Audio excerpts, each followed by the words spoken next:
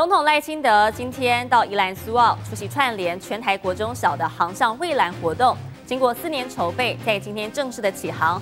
同学们将绕行台湾环岛，赖总统亲自现身表达鼓励，更难得的穿上了花衬衫，还有戴上了墨镜，更替同学穿上救生衣，表达对航向大海的支持还有鼓励。同学穿上救生衣，总统赖清德为将航行台湾一周的小朋友们加油打气，更戴上墨镜，深蓝色的花衬衫，特别打扮一身海洋风格，亲赴宜兰苏澳见证起航仪式。一机长为小小航海王们给足航向大海的勇气，同学们也写信给总统，好几封手作卡片，还有可爱的亲笔插画。我的确也说到我们月明国中小。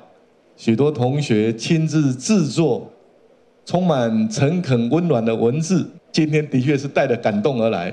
那么我收到了许多卡片，里面呢有特别问我一个问题：总统，你喜欢海洋吗？我很喜欢海洋。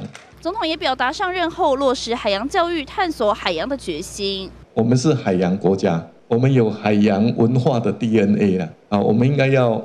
用海洋丰富我们国人的生活。身为台湾海洋公民的一份子，用行动响应联合国今年世界海洋日，加深与大海的连结。这里是美李明宏 SNG 依然报道。